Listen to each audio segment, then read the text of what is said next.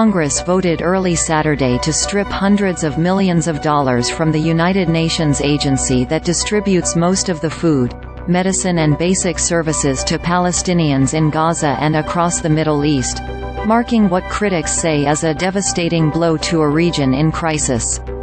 The United States, along with several other countries, suspended funding for the UN Relief and Works Agency, UNRWA, in January after Israel alleged that 12 of the agency's 13,000 Gaza employees participated in Hamas's cross-border attack on October 7.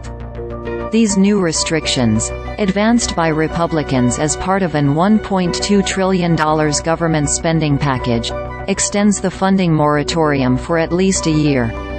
UNRWA has become, a de facto subsidiary of Hamas, Representative Mario Diaz-Balart, R. Florida, said in a speech from the House floor Friday, echoing claims by the Israeli government, which has long criticized the agency. The passage of this bill means not one additional dollar from American taxpayers will go fund this deeply flawed organization. UN officials vehemently deny such assertions, and Israel has not publicly disclosed evidence to support its allegations about UNRWA workers' involvement in the attack or its claims that the group has been infiltrated. The UN Secretary-General launched an independent investigation and intends to publish findings next month. Nevertheless, the consequences of the allegations have been sweeping. UNRWA, established in 1949 to provide assistance to Palestinians who either fled or were expelled from their homes during the creation of the State of Israel, now administers the bulk of government-like services, including schools, healthcare, food and housing assistance, to millions of those refugees and their descendants spread across Gaza, the West Bank, Lebanon, Jordan and Syria.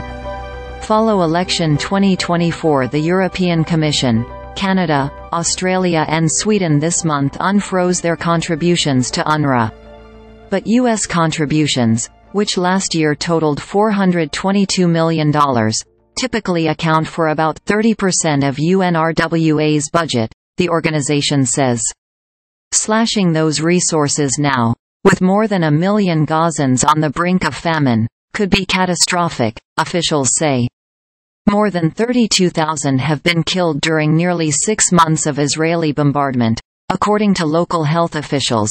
It's the equivalent of the government closing up shop here, said Bill Deere, director of UNRWA's Washington office. I don't know what's going to happen, but I can tell you it can't possibly be good for regional stability when you remove the last vestiges of hope for millions of people. Some Democrats who voted against the spending bill cited the UNRWA cuts as among their key concerns. Others, who said they voted for the bill because it contained critical funding for the U.S. government, also voiced concerns about the potential impact it could have in Gaza. Senator Chris Van Hollen, DMD,